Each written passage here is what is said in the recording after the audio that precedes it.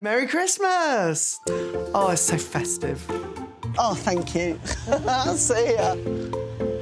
This is 32 year old Paul, a PA eager to experience festive romance for the first time. I would be the worst person if I did have a boyfriend at Christmas.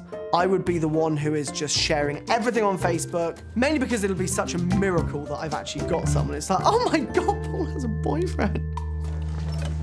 Merry Christmas. Merry Christmas. Are you feeling Christmassy? Very. Brilliant. Always. Perfect. Come here. Melanie will look after you. Take a seat Thank here. you. I Thank will do my best. Welcome. What's your name? Paul, Paul. What can I get you? uh, can I get a glass of Prosecco? Yes. Please. Thank By you. all means. How long have you been single now? 32 years, if we're actually going 32 Yeah. years. So the short answer is my whole life, yeah. No, never had a relationship. For- so- never, ever, ever, ever, Never, ever, ever, ever, Have you come close? I've been on dates. Right. before, Um, but, you know, I can probably count on one hand the number of dates I've been on. You know, they've been nice, they've been enjoyable evenings. I felt it, the others haven't. What's gone wrong in these dates before? Why haven't they borne fruit? Do you know what? I don't know. Maybe there's just not been that spark. I seem to be the person who likes people who don't like me in that way. Unrequited. But hey, I suppose that's, you know, that's dating. there are six billion people on this planet. For God's sake, there must be at least one who's out there for me.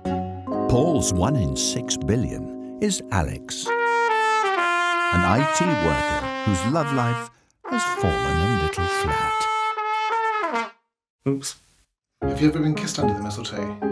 Not properly. so I've always been single. I've never actually had a relationship. What do you think's going wrong? I'm not, not very good at dating. I've ended a lot of dates with a handshake because I don't really know what to do. But yeah, it's probably why I don't get another date. Hello. Hello. How are you? Yeah, good, you thank Alex? You. Yeah, Alex. How are you feeling? Bit nervous. Are you? Excited though. That's the way to do it. I'd definitely be looking for someone who's nice, clever, very funny. I, d- I think it's a balance, isn't it, between humour and attractiveness. Voila. oh wow. Enjoy. Hi, good to meet you. Nice to meet you, Alex. How you doing? Yeah, Not really good. Yeah, good.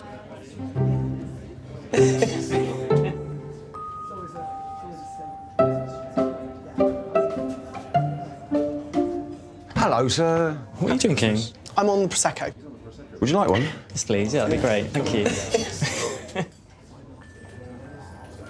Would you like a top up there? Um. Yeah, why not? Yeah. Merry Christmas. Yeah, Merry Christmas.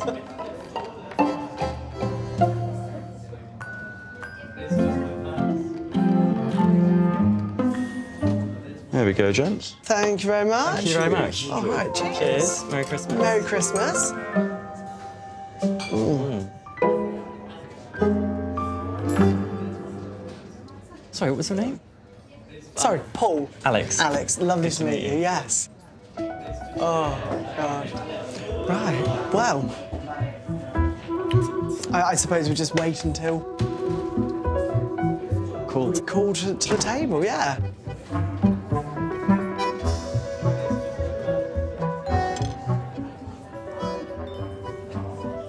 So, what made you go on a blind date?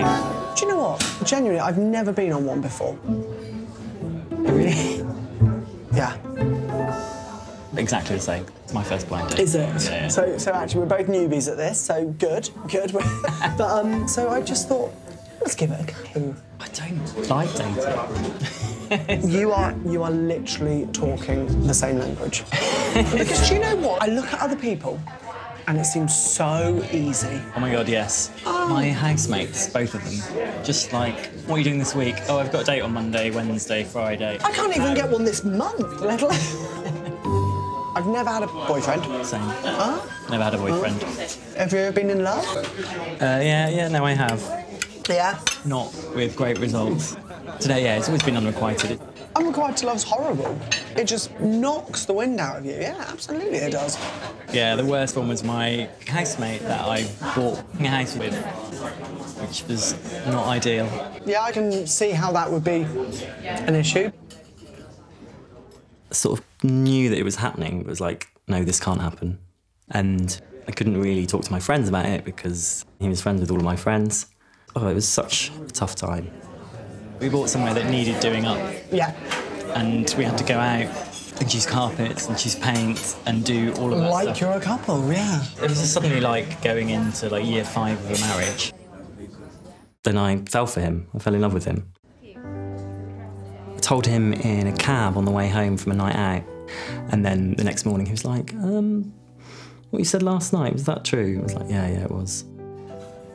He didn't feel the same way. He said he was sorry. And there wasn't really much more to say than that. So he is a serial dater, like bringing people home, having dates. And I was just like, actually, you know, this is killing me. I'm not happy with this. Oh, no, yeah. So I ended up moving out. Yeah, no, it was really tough. I don't know how it, how I'd imagine it feeling when it's returned. It probably feels completely different. I think I'll be really suspicious that someone likes me. I'll be like, what is wrong with you? Why? Why do you like me? If it's any consolation, I can completely sympathise with that as well. I'm the eternal person to be friend zoned. I think I might be the same. Hmm. We never learn, do we? So. Make sure you subscribe to get a regular serving of love and romance.